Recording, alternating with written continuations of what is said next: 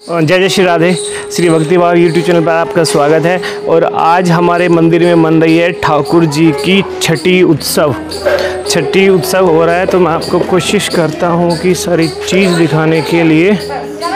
अभी ये थोड़ा सा ब्लॉग के टाइम से रह, रहेंगी चीज़ें। और अब चलते हैं आपको। देखो छठी उत्सव चल रहा है और पीछे सब भक्त लोग यहाँ पे प्रसाद पा रहे हैं।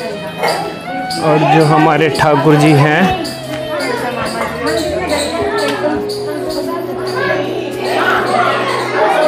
यारी हमारी मासी इनका ठाकुर है यो।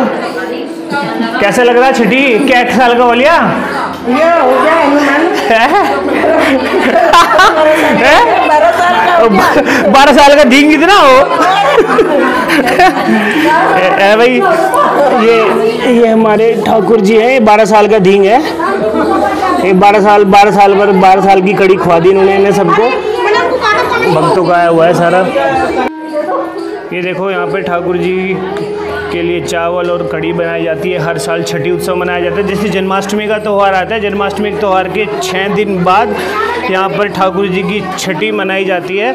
वैसे बारह साल का बच्चा बड़ा होता है जो हमारे छोटे से ठाकुर जी हैं पालने में झूल रहे हैं इनके लिए नाज इकट्ठा हुआ है। जैसे आम भाषा में आम तौर पर गाँव में जब छठी होती है बच्चे की उनको नाज भी मिलता है। ये इनको सबको बधाई भी मिली हुई है और ये सब ये सब मिलकर यहाँ पर प्रसाद पा रही हैं। हर साल ये उत्सव छठी का उत्सव हमारा यहाँ पर होता है। यारी हमारी बड़ी मम्मी बैठी है नीचे। अरे बड़ी मम्मी ठीक हो रहा काम? बढ़िया हो रहा है छठी उत्सव मंडी ठाकुर जी का। प्रसाद बहुत स्वादिष्ट हो रहा है। हाँ। माताएँ बहने से प्रसाद पा रही है। एकदम बढ़िया तरीके से हो रहा है।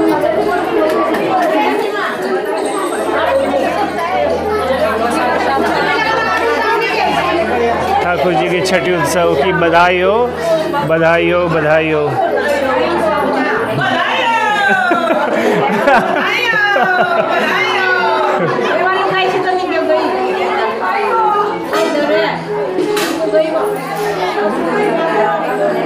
चलो जी, मंदिर में आपको आके श्री स्वामीनारायण भगवान के भी दर्शन करवा देते हैं। ये हमारे हैं शिव शंकर भगवान जी। ये अंदर दर्शन भी कर लीजिए आप। ऐसा सब पूरा कार्यक्रम रहता है।